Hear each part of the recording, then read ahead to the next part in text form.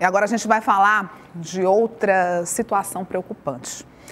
As motocicletas estão presentes em mais de 50% dos acidentes de trânsito na região de Valência, Picos e Alegrete do Piauí. Foi o que mostrou um levantamento divulgado pela Polícia Rodoviária Federal. Vamos agora acompanhar na reportagem.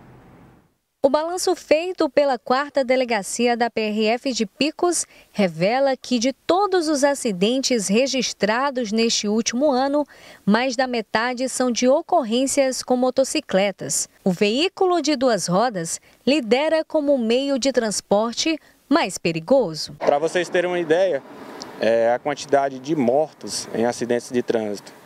Desde janeiro de 2023 até, até abril de 2024, é, tivemos aí como resultado, infelizmente, 56% das mortes originadas aí de acidentes com motocicleta. Então, infelizmente, devido a ser um, um veículo mais acessível e de maior facilidade aí para locomoção em perímetros urbanos, se torna também um veículo muito vulnerável. E está aqui no nosso, no nosso trecho é, como primeiro lugar em veículos que mais se envolvem em acidentes de trânsito. O chefe de policiamento da PRF em Picos ainda comenta os tipos de acidentes mais comuns envolvendo motocicleta. As colisões frontais e colisões transversais.